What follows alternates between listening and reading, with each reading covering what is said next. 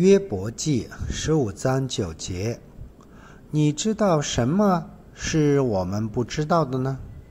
你明白什么是我们不明白的呢？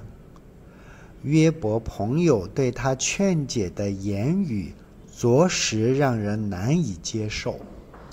使徒保罗告诉我们，除了在人里头的灵，谁知道人的事？盼望我们做一个愿意倾听他人疾苦的人，而不是不断向人谏言、为其平添愁烦的人。Ayub pasal 15 ayat sembilan. Apakah yang kau ketahui yang tidak kami ketahui?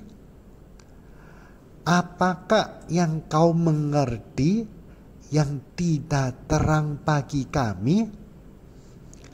Perkataan teman-teman Ayub sungguh sulit diterima.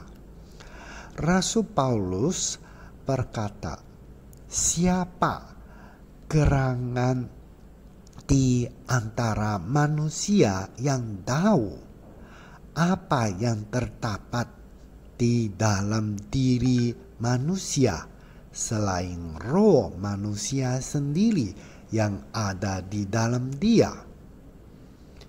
Berharap kita menjadi orang yang mau mendengarkan penderitaan orang lain daripada orang yang terus-menerus menasihati orang lain untuk mempersulit mereka.